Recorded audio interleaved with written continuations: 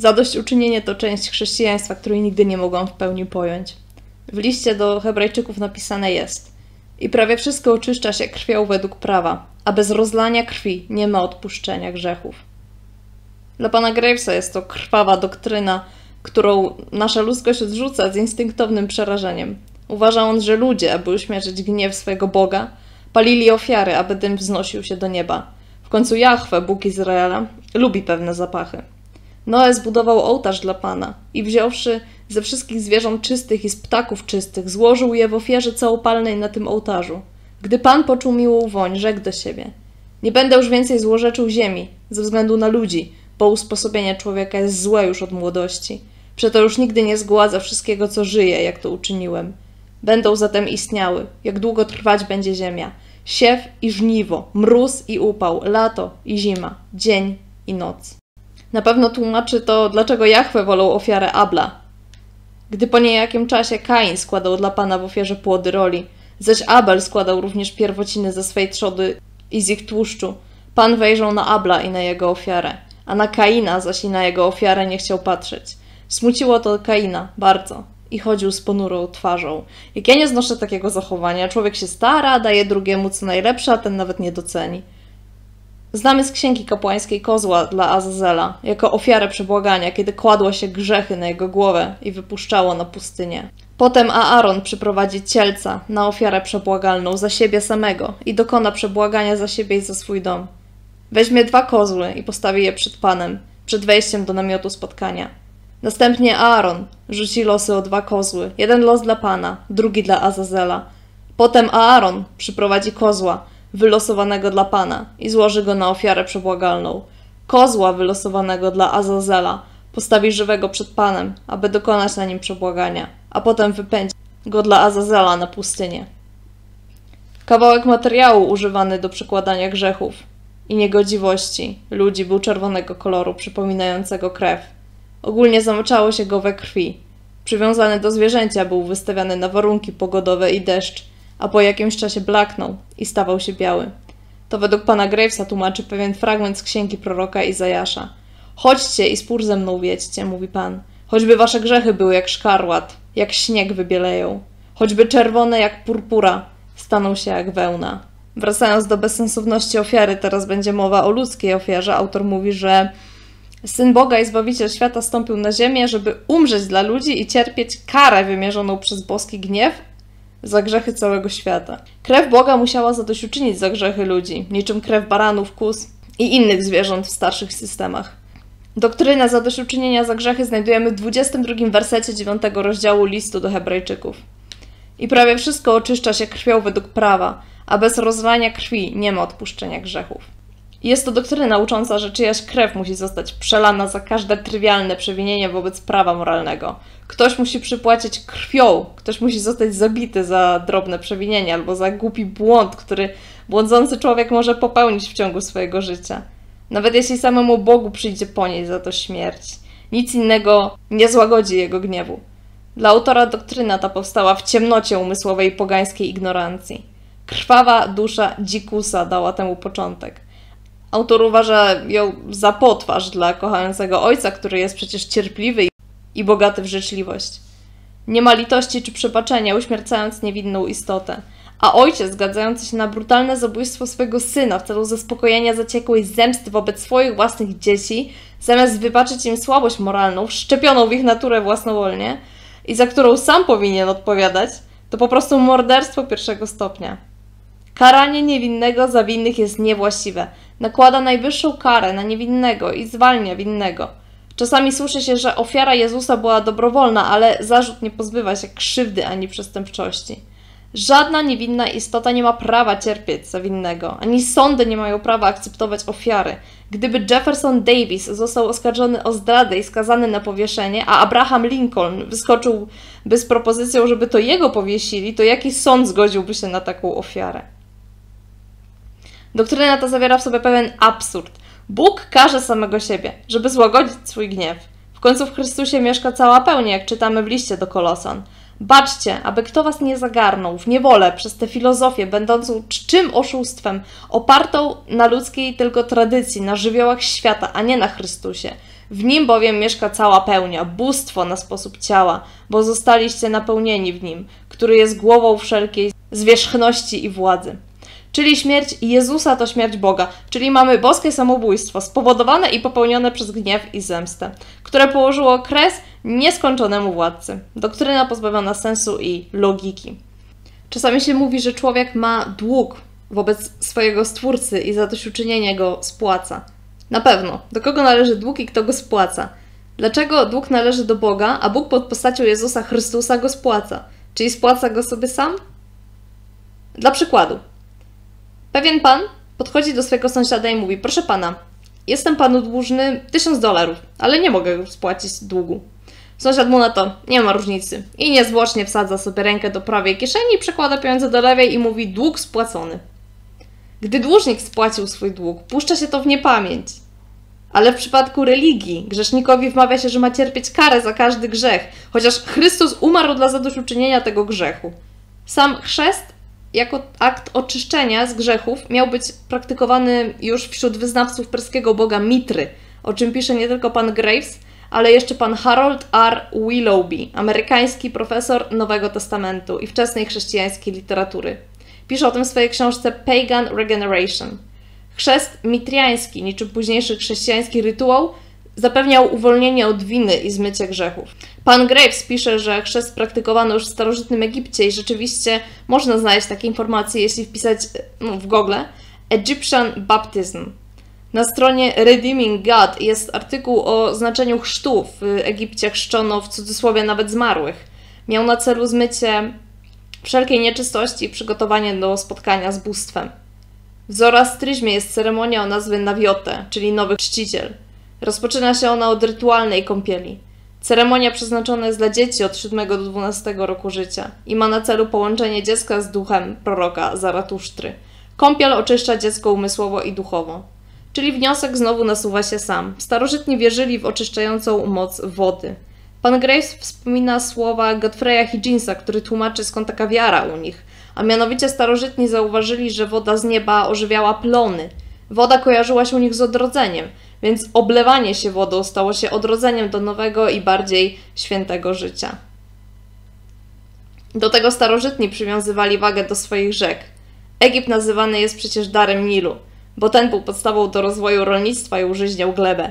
Mezopotamii, Międzyrzeczu, Tygrys i Eufrat też przyczyniały się do rozwoju rolnictwa. Do tego w micie Enki and the World Order, czyli Enki i porządek świata, Bóg Enki Chciałam powiedzieć tak wulgarnie, spuszcza się do rzeki, ale powiem, podnosi swego penisa i ejakuluje do rzeki Tygrys. Hindusi mają świętą rzekę Ganges, personifikację bogini Ganga. Rzeka Jordan, której Jezus według Nowego Testamentu przyjął chrzest, dzisiaj też bywa nazywana świętą i nawet brytyjska rodzina królewska e, posiada zasoby wody z rzeki Jordan i chrzci nią dzieci. Duch Święty to jedna z postaci, czy kim on, ona, ono jest, którego czy której ja sama zrozumieć nie mogę. Czytając Ewangelię, wyobrażałam to sobie jako swego rodzaju energię stępującą pod różnymi postaciami, tylko trochę niebezpieczną, bo zapładnia. Najczęściej kojarzy nam się z gołębicą, w końcu tak się tego ducha przedstawia. A kogo jeszcze przedstawia się z gołębicą? Boginię Wenus, tudzież Afrodytę. To naczynie pochodzi 365-355 roku przed naszą erą i przedstawia Afrodytę z gołębicą.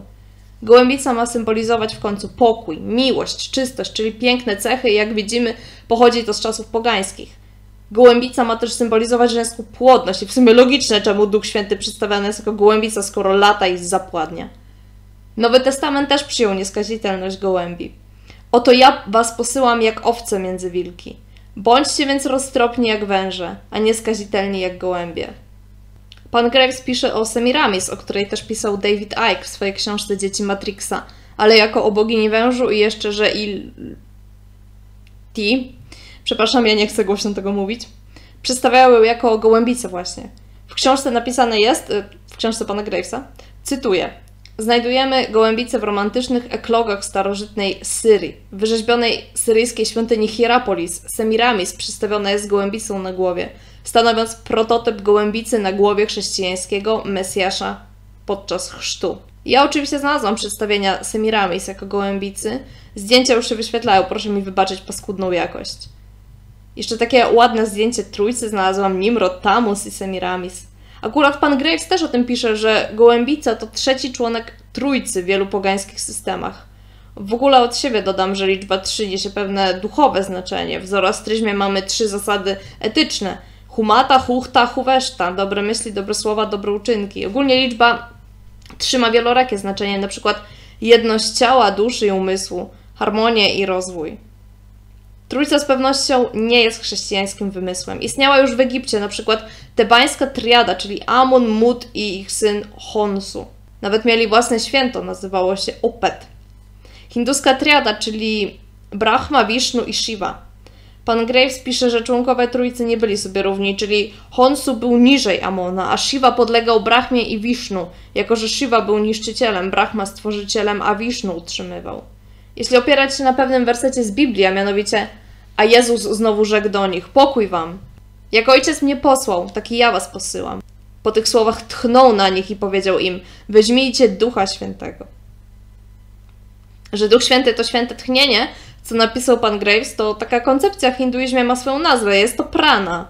Kto uprawia jogę, ten to zna. Jogi ja osobiście nie uprawiam, ale słyszałam o pranie, mimowolnie obijało się to uszy. Robiłam w swoim życiu tylko jedną technikę oddechową z zakresu jogi tak naprawdę. Prana to tchnienie, oddech, dech, energia życiowa. Duże znaczenie musi mieć to tchnienie też w chrześcijaństwie, nawet Psalm 33 o tym mówi. Przez słowo Pana powstały niebiosa i wszystkie ich zastępy przez tchnienie ust Jego. Podczas stworzenia człowieka Jahwe też wykorzystał tchnienie życia. Pierwszym rozdziale Księgi Rodzaju, w drugim wersecie mamy słowo Duch Boży. Ziemia zaś była bezładem i pustkowiem. Ciemność była nad powierzchnią bezmiaru wód, a Duch Boży unosił się nad wodami. A Duch Boży unosił się nad wodami, po hebrajsku czytamy Veruach Elohim, Merahefet, Alpeni, Hamaim. Ruach, jak już nam wiadomo, to po hebrajsku wiatr albo duch. Nawet napisane jest w słowniku Pealim wind of. Ciekawe jak brzmiałoby po hebrajsku.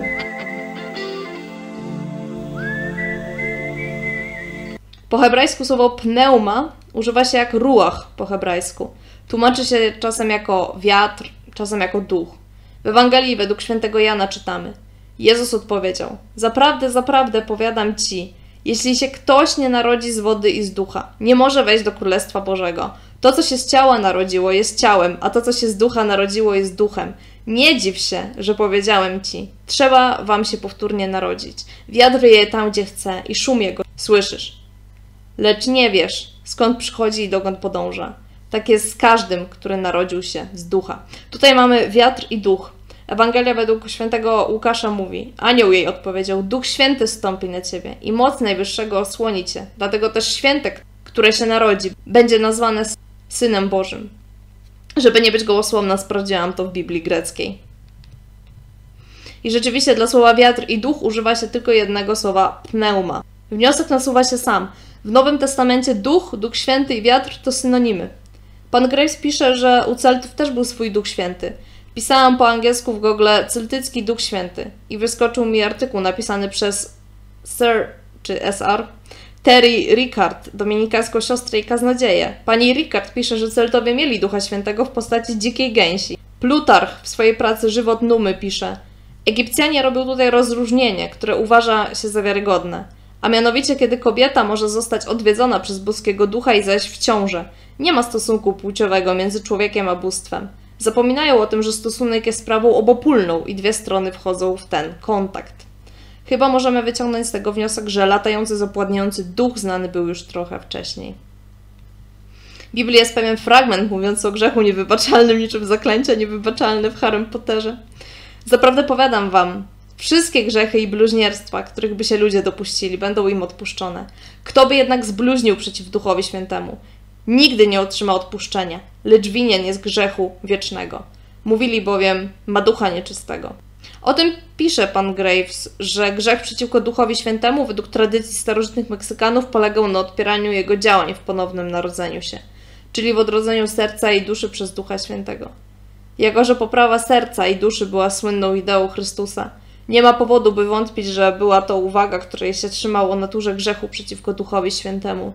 Uważany był za niewybaczalny dlatego, że jak proces wybaczający i oczyszczający polegał, albo przynajmniej towarzyszył mu chrzest w wodzie, na tym, że w tej operacji Duch Święty dokonywał odrodzenia. Gdy ktoś to odrzucał, nie było mowy o zdobyciu akceptacji u Boga. Jeśli człowiek zgrzeszył przeciwko Bogu albo Słowu, czyli Synowi, mógł otrzymać wybaczenie poprzez procesy chrztu, duchowe lub podstawowe, Ducha Świętego. Ale obraza trzeciej kończyny Świętej Trójcy skutkuje zamknięciem drzwi, że nie ma żadnego wybaczenia, ani w tym, ani w przyszłym życiu. Grzech przeciwko Duchowi Świętemu oznaczał zburzenie schodów do drzwi nieba. Jest to oczywiście wytłumaczenie autora. Sakrament Eucharystii pan Graves też odnosi do pogańskich rytuałów. Akurat udało mi się znaleźć o tym informacje w innych źródłach. Chodzi o, o greckiego boga Dionizosa, znanego też jako Bakusa. Na stronie Hellenic Gods czytamy, że ciemne czerwone wino to symbol krwi Dionizosa i używane jest w libacji jako rodzaj ofiary. Jezus Chrystus w Ewangelii według świętego Mateusza mówi sam: A gdy oni jedli, Jezus wziął chleb i odmówiwszy błogosławieństwo, połamał i dał uczniom, mówiąc: Bierzcie i jedzcie, to jest ciało moje.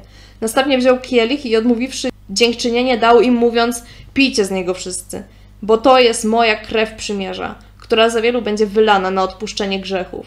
Lecz powiadam wam, odtąd nie będę już pił z tego owocu winnego krzewu, aż do owego dnia, kiedy pić go będę z wami nowy, w królestwie Ojca mojego. Pan Graves pisze o dość ciekawym zjawisku, znanym jako cykl, inaczej jeszcze aetas albo neros.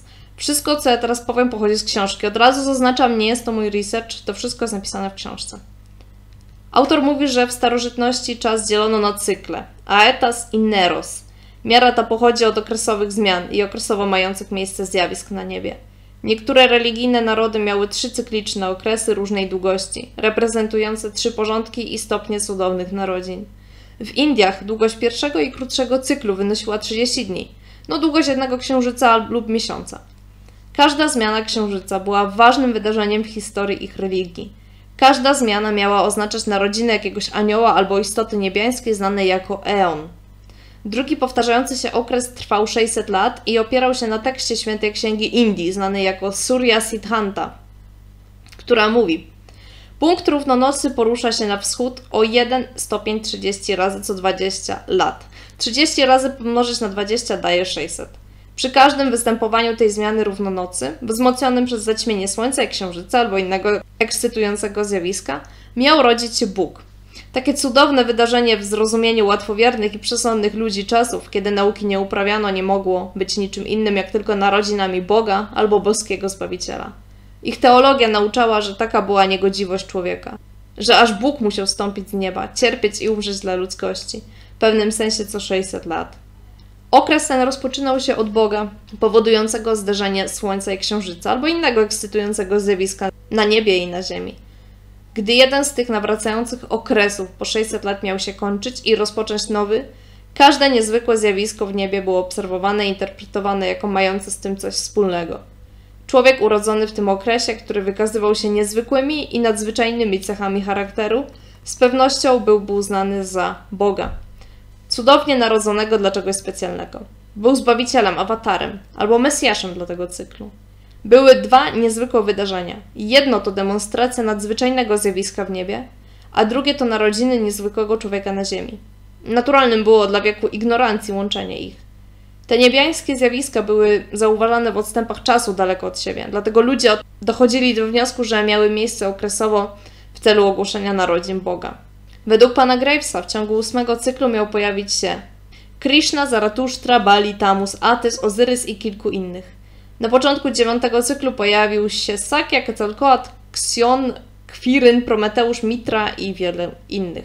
Dziesiąty cykl dał nam Jezusa Chrystusa, Salafhanę, Apoloniusza i innych. Mahomet urodził się 600 lat po Jezusie, co zapoczątkowało nowy cykl. Wiele faktów jest zapisanych w historii. Udowadniają one powszechność i świętość idei cyklu w innych krajach. Egipska historia o ptaku Feniksie żyjącym 600 lat i mającym moc odnawiania się co 600 lat pokazuje powszechność nawracającej tradycji w tym kraju. Mamy potwierdzenie w historii, że gdy pierwsze 600 lat od założenia Rzymu dobiegały końca, ludzie oczekiwali jakiegoś niezwykłego zdarzenia. Gdyby nie wpływ filozofów, pewien nadzwyczajny człowiek zostałby uznany za Boga urodzonego dla tego cyklu. Prace Platona, Plutarcha, Owida, Cycerona, Wergiliusza i Arystotelesa pokazują wiarę w cykle i że 10 cykli, albo aetas, były miarą. Według M. Fabera oczekiwano nowonarodzonego Zbawiciela na początku jednego z tych cykli. Stąd deifikacja tych postaci i wyżej wymienionych. Ta niezwykła okoliczność, że żydowska Biblia mówi, że Noe miał 600 lat na początku potopu, podczas gdy Egipcjanie mieli tradycję, że początek 600 cyklu zwiastował potop. Czas poprzedzający Noego po stworzeniu był miarą trzech cykli według chronologii Biblii Samarytańskiej, czyli 600 plus 600 plus 600 równa się 1800 lat. Od Adama do Noego. Ciekawy fakt, że te enigmatyczne liczby używane przez Daniela oraz te w Apokalipsie mogą być wyjaśnione przez nawrót. Te okultystyczne proroctwa, które stanowiły dla chrześcijan zagadkę i dezorientowały ich umysły oraz badaczy Biblii, w ich próbach rozwinięcia ich znaczenia poddają się takiemu samemu wyjaśnieniu. Na przykład słynne proroctwo Daniela z 9 rozdziału o 70 tygodniach, zapowiadające nadejście Mesjasza pod koniec tego okresu. Według obliczeń Tysona z Historical Atlas i chronologii historii uniwersalnej Haskella, Daniel żył w roku 119 cyklu, biorąc to za podstawę i mnożąc 70 tygodni na 7, wychodzi 490, dodając 110, czyli rok, który zapoczątkował proroctwo, wychodzi 600, co kończy cykl. Piękne wytłumaczenie mistycznej liczby, na której opierały się domysły i spekulacje. 490 lat brakowało do ukończenia cyklu, po którym następował nowy, a wraz z nim oczekiwano nowego Zbawiciela, w niektórych krajach, np. w kraju, w którym Daniel mieszkał. Nowy Mesjasz, albo wielki człowiek urodzony w tym czasie był wyznaczany i deifikowany jako Mesjasz. Stąd Żydzi, imitując swoich sąsiadów, ulegając swoim silnym skłonnościom do kopiowania pogan, wybrali Jezusa Chrystusa jako swojego Mesjasza i Zbawiciela. Mistyczna era Daniela wyrażana przez aż do czasu czasów i połowy czasu. Albo jak u świętego Jana. I dano niewieście dwa skrzydła orła wielkiego, by na pustynię leciała na swoje miejsce, gdzie jest żywiona przez czas i czasy i połowę czasu, z dala od węża. Niektórzy pisarze przypuszczali, że Daniel był chaldejskim kapłanem. Jeśli tak jest, musiał wiedzieć o ich astronomicznym cyklu 2360 lat, który ukończył okres precesji równonocy. Na ekranie precesja niesamowity filmik z kanału Stevena Sandersa. Tłumacząc tym cyklem jego aż do czasu czasów i połowy czasu, wyszłoby 2160 plus 2160 plus 1080 równa się 5400. 9 cykli dokładnie, dlatego że 600 pomnożyć na 9 daje 5400. Dodając to do cyklu, w którym żył, i mamy 5400 plus 600 równa się 6000. Wielki tysiącletni cykl, kiedy nie tylko nowy Zbawiciel i Mesjasz miał się urodzić, ale również nowy świat. Długi i krótki cykl. Jeden był miarą drugiego. Miał skończyć się w tym samym czasie według chaldejskiej tradycji. Pięknie opisana jest głęboka, mroczna i niezgłębiona tajemnica. Trzeba zwrócić uwagę na przerażające wizje Daniela i autora Apokalipsy, w której zobaczyli bestię z siedmioma głowami i dziesięcioma rogami, chociaż Daniel wspomina tylko o rogach. Najwyraźniej siedem głów to siedem obiecujących miesięcy roku, które niektóre narody wychwalały za urodzaj. Pozostałe pięć to zima. Święty Jan żył bliżej dziesiątego cyklu, który odpowiada dziesięciu rogom bestii. Stąd sugeruje się ta interpretacja tej liczby. Dziesięć rogów u Daniela to tak naprawdę powinno być jedenaście, dlatego że żył w dziewiątym cyklu. Ale tak blisko dziesiątego, że prawdopodobnie sformułował swoją liczbę na dziesiątce. Proroctwo Daniela w ósmym rozdziale, że potrwa przez 2300 wieczorów i poranków, a świątynia odzyska swoje prawa, można tak wytłumaczyć.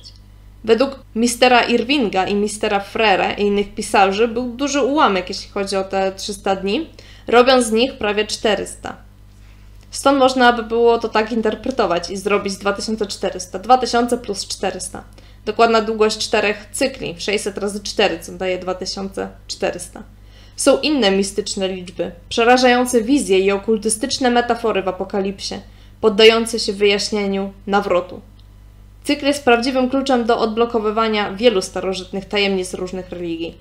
Tysiącletni cykl tłumaczy autor tak. Święty okres 6000 lat, składający się z 10 mniejszych cykli. 600 razy 10 daje 6000. D.R. Hales mówi: Tradycja tysiącletnich epok przeważała na wschodzie, aż doszła do zachodu. Astronomowie mówią, że jeśli kąt, który formuje płaszczyzna ekliptyki z płaszczyzną równika stopniowego się pomniejszał, tak jak miał, dwie płaszczyzny zbiegały się za 6000 lat. Okres, który składał się z 10 mniejszych cykli, 600 razy 10 daje 6000. Wiek ignorancji i przesądów mógł z łatwością dojść do wniosku, że takiemu zdumiewającemu wydarzeniu jak temu z dwoma ogromnymi orbitami albo płaszczyznami wchodzącymi ze sobą w kontakt będzie towarzyszyć straszna katastrofa i pokaz boskiej mocy. Ten wielki kryzys miał sprowadzić wszechmocnego boskiego sędzię z niebieskiego tronu.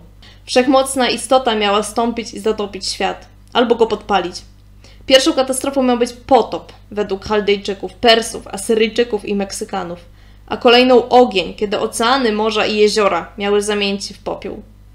W drugim liście świętego Piotra czytamy: Nie wiedzą bowiem ci, którzy tego pragną, że niebo było od dawna i ziemia, która z wody i przez wodę zaistniała na słowo Boże, i przez nią ówczesny świat zaginął wodą zatopiony. A to samo słowo zabezpieczyło obecnie niebo i ziemię, jako zachowane dla ognia na dzień sądu i zguby bezbożnych ludzi.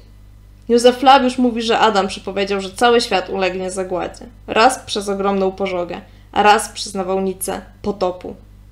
Dziękuję za dotrwanie do końca. Na pewno te cykle są ciekawe. Różne są interpretacje, jeżeli chodzi na przykład o apokalipsę świętego Jana. Tam e, te siedem głów, 10 rogów, to e, można też znaleźć na YouTubie filmiki, gdzie księża to tłumaczył, pewien amerykański ksiądz tłumaczył, że, był, że była to przepowiednia dotycząca Rzymu tak naprawdę, więc no interpretować można na, na swój sposób. Jeżeli te okresy są niezrozumiałe, jakoś niezrozumiale je wytłumaczyłam, to zamieszczę ten tekst w sekcji komentarzy, żeby każdy mógł sobie przeczytać, dlatego że ja sama musiałam przeczytać ten tekst kilka razy, żeby zrozumieć o co chodzi, a jeszcze on był po angielsku napisany. Dziękuję za obejrzenie i do następnego.